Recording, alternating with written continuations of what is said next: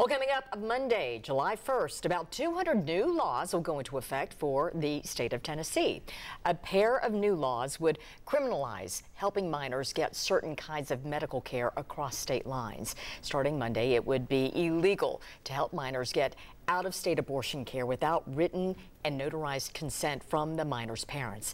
Adults could also face prosecution or civil lawsuits for helping minors get abortion care drugs or hide abortion care from a child's parent or guardian. Once charged, adults who help minors find abortion care could face around a year in prison. Meanwhile, a similar law will make it illegal to help minors find gender affirming care outside of Tennessee without parental consent. The Associated Press is reporting Tennessee is the first state to pass a law like this. The law effectively mirrors the banning of adults from helping pregnant children find abortion care across state lines. According to the Human Rights Campaign, Tennessee has enacted more anti LGBTQ laws than any other state since 2015 identifying more than 20 bills that advanced out of the legislature during the past few months.